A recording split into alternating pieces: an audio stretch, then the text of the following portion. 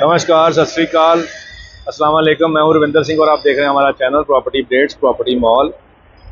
ये हाईवे है, इस तरफ़ कैमरा घुमा के दिखाते हैं। सामने चंडीगढ़ से जब आप निकलोगे, वीर का चौक क्रॉस करोगे तो बलौंगी वाला पुल है। वो पुल क्रॉस करोगे तो ये एक कार बाज़ार आ जाएगा। कार बाज़ार के साथ में ये होटल ब्लेस है और ये गुरुद्वारा साहब है। और गुरुद्वारा साहब से आगे अंदर को गली जा रही है, जिसको ग्रीन इनक्लेव कहते हैं।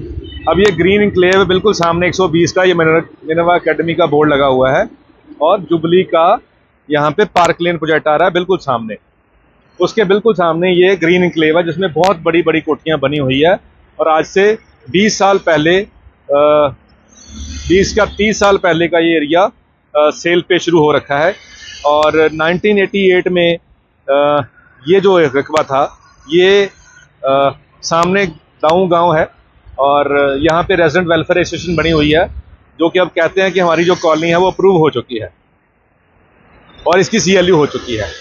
पर कॉलोनी के अंदर कोई भी जो घर है, उसका नक्शा पास नहीं है। यानी कि आज भी अगर आप यहाँ पे प्लॉट लोगे तो उसका नक्शा पास कहीं से भी नहीं होगा।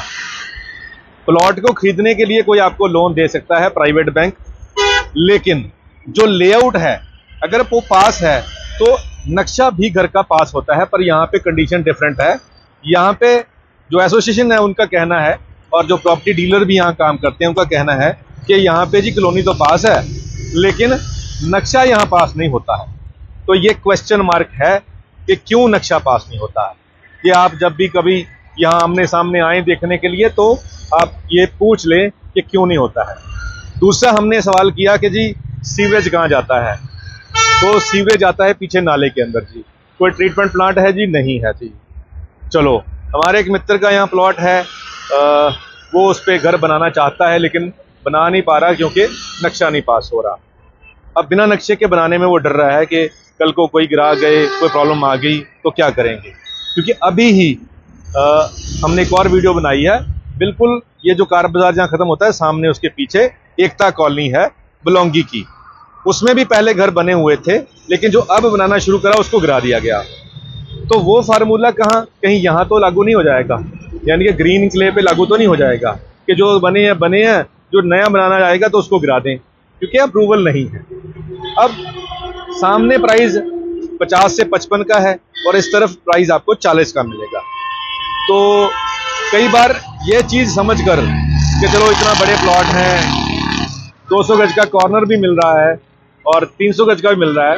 तो सामने में कोई फ़र्क नहीं है और ये इसके आगे वी आर पंजाब मॉल है और टीडीआई है और टीडीआई के पार्क में इसकी एक गली का रास्ता भी खुलता है। अब ये सब चीज़ें अट्रैक्ट करती हैं और बंदा यहाँ पे खरीद लेता है। हम बिल्कुल नहीं कह रहे हैं कि आप मत खरीदो, आपकी मर्ज़ी है, आप खरीद सकते हैं, लेकिन जो वैलिड क्वेश्चन हमारे मन के अंदर है, वो मैं आपसे शेयर कर रहा हूँ कि अगर कॉलोनी पास हो जाती है तो उसके अंदर के नक्शे भी पास होते हैं बट यहाँ पे अंदर के नक्शे पास नहीं हो रहे हैं। तो घरों के नक्शे पास होने की बिना ही यहाँ सारी कॉलोनी बसी हुई है, रह रही है, और फ़िलहाल सरकार की तरफ़ से इनके ऊपर कोई एक्शन नहीं लिया गया है। क्यों नहीं लिया गया है, ये सरकार से पूछना पड़ेगा, लेकिन जहाँ पे पीछे बलौंगी की बात अभी दिखाई हमने पिछली वीडियो में, कि वहाँ पे पहले के बने हुए बड़ी शानदार शोरूम पीजी तो हैं लेकिन जो अब नया बन रहा है, उसको गिराया जा रहा है। तो ये सिलेक्टिव अप्रोच के अंदर कहीं आपका नुकसान ना हो जाए, क्योंकि आप तो नए आओगे ना। हाँ कोई बिल्डअप घर ले लें आप, वो पुराना है, आपने उसी में आके शिफ्ट कर लिया, और बात है। लेकिन कल को सरकार कहे कि जी, आपने अप्रूवल नहीं ली है, हम आपका घर गिरा सकते हैं तो हाँ कानूनन वो गिरा सकते हैं। लेकिन जो पहले का बना हुआ है ओल्ड स्ट्रक्चर है, उस पर आपको रिलीफ मिल सकता है।